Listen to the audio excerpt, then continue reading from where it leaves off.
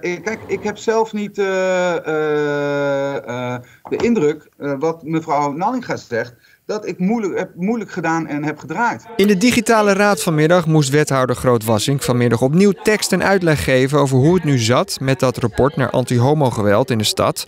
Waaruit naar voren kwam dat daders vaak jongeren zijn met een migratieachtergrond. Ik heb een aantal vragen en ik hoop dat de wethouder daar zo op kan terugkomen. Namelijk, mevrouw Martens, voordat u begint met uw vragen, u heeft een interruptie van mevrouw De Fokkert. Die vragen waren er nu na een WOP-verzoek van de Telegraaf, waaruit een beeld naar voren kwam van een wethouder die vlak na publicatie van dit rapport met vakantie ging en niet echt happig bleek om de pers te woord te staan. Maar hou maar af, uh, ik ben met vakantie.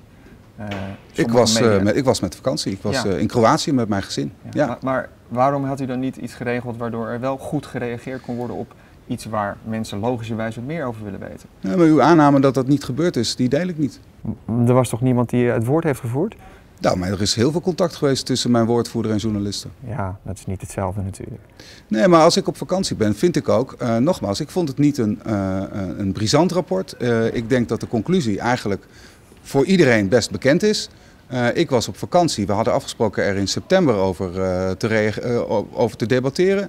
En dat heb ik gedaan. Waarom dan deze enorme strategische, politieke en communicatieve clusterfuck? Mevrouw Nanninga, u heeft nog een interruptie. Ik wil ook even erbij uh, vermelden. Er mogen geen vloekwoorden gebruikt worden tijdens de commissievergadering. Dit staat in het reglement voor orde. Het is geen representatief onderzoek. Er zijn 15 mensen geïnterviewd. Dus in die zin uh, kun je hier ook niet uit concluderen dat de daders altijd uh, jongeren met een migratieachtergrond zijn. Er staat ja, vaak betreft het jongeren met een migratieachtergrond. krijgen we dat nu wel nog nogmaals, nogmaals, ik vind dat helemaal geen opvallende conclusie. Nee. Volgens mij weet iedereen in Amsterdam dat. Is dat een onderwerp? Moeten we daarover praten? Moeten we daar actie op zetten? Dat doen we. Ja.